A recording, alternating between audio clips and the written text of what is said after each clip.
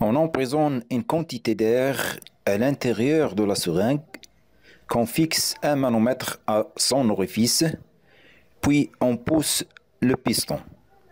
On observe que le volume de l'air emprisonné dans la seringue diminue et parallèlement sa pression augmente. Ceci est vu sur le cadran des manomètres. De même, si on tire le piston, le volume de l'air emprisonné augmente alors que sa pression diminue. En utilisant le modèle particulier, et on explique que se passe-t-il lorsqu'on pousse ou bien lorsqu'on tire le piston. On sait que l'air est constitué par des particules qu'on modélise par des boules de couleur rouge et des boules de couleur bleue. Lorsque le piston est en équilibre, on dit que la pression à l'intérieur de la seringue est la même que celle à l'extérieur, c'est-à-dire à la pression atmosphérique.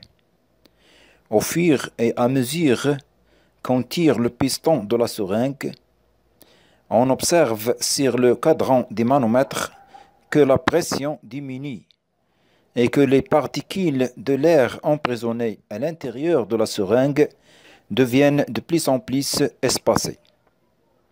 C'est-à-dire les particules se détendent et on dit que l'air est un gaz expansible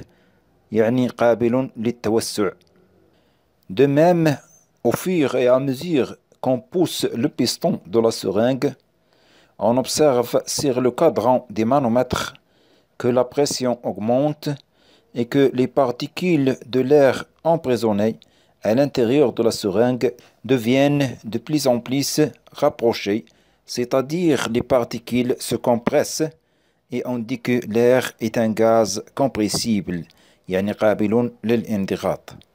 Une question qu'on peut poser que se passe-t-il pour la masse de l'air emprisonné dans la seringue lorsqu'on pousse ou bien lorsqu'on tire le piston de la seringue Lorsqu'on tire le piston, le volume de l'air augmente. Est-ce qu'on a ajouté des particules? On n'a pas ajouté des particules, mais uniquement les particules emprisonnées subissent à l'expansion.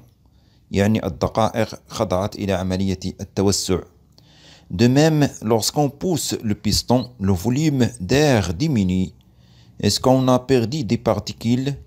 Pas du tout, mais uniquement les particules subissent à la compression.